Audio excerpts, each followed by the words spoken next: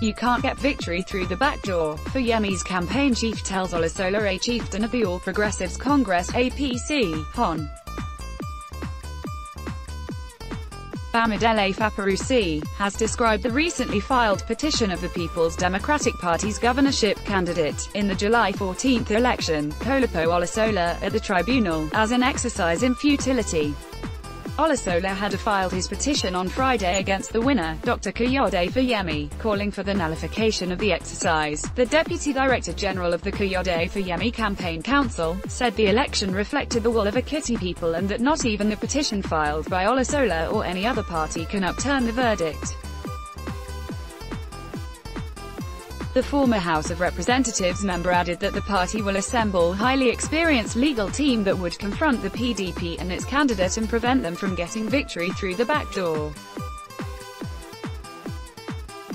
Fayemi, the candidate of the APC polled a total of 197, 459 to trounce Olusola, who got 178, 121 votes in the keenly contested election.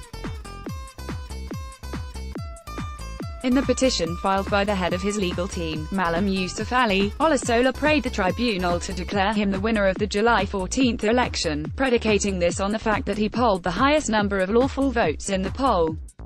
Responding to the action, Faparusi, in a statement in Ado-Ekiti on Saturday appealed to APC members across the state to be peaceful and see the present legal challenge as one that won't yield any fruitful result. The APC chieftain described the election as the best in Ekiti since the advent of democracy in 1999, saying the allegations of ballot stuffing and snatching, falsification of results and brazen abuse of powers by APC to win the election only existed in the demented imagination of the PDP as a political party. He said, Professor Olusola asking that he be declared winner of an election he lost was a tall dream that won't be realized. The whole world could attest to the credibility of the election.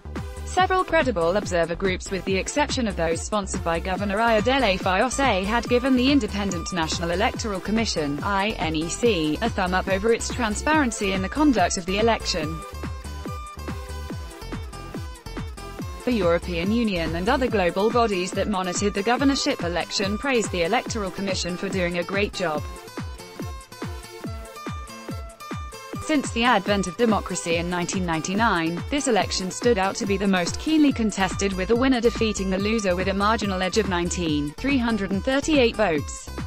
This confirmed and substantiated how transparent INEC had been in the conduct of this election. No election can be deemed to have been perfect, but substantially, the exercise could be adjudged to have been conducted in line with the 1999 Constitution and the dictate of the Electoral Act.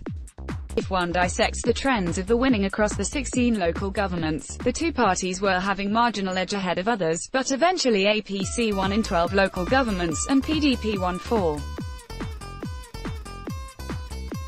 If the PDP could be bold to tag an election where the winner won 12 councils and loser 4, what would the people call the June 21, 2014 governorship election, where Governor Fayose defeated the incumbent governor, Drive?